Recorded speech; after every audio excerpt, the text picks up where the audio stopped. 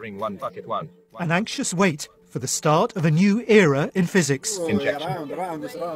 Dump in one. Scientists here are thrilled as they send subatomic particles around the Large Hadron Collider for the first time in two and a half years. Deep under the Swiss French border, the circular accelerator is the size of a small railway line. Tiny particles whiz round 11,000 times every second, close to the speed of light.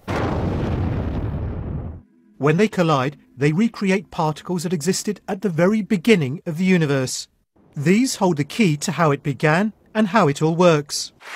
In 2012, Peter Higgs wiped away a tear after researchers discovered the particle named after him. It was hailed as one of the most significant discoveries in science. Since then, the giant machine has been upgraded. I watched engineers double the LHC's operating energy.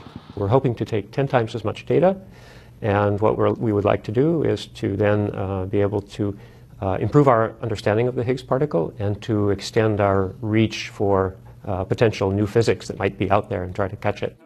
The researchers here are looking for what they call dark matter, thought of as a cosmic tree from which our galaxies, shown in pink, grew like blossoms. So how long before they discover the first hard evidence for it? It could be as early as this year. Summer may be a bit hard, but late summer maybe could be as early as September if we're really lucky. The current theory explains how just 5% of the universe works.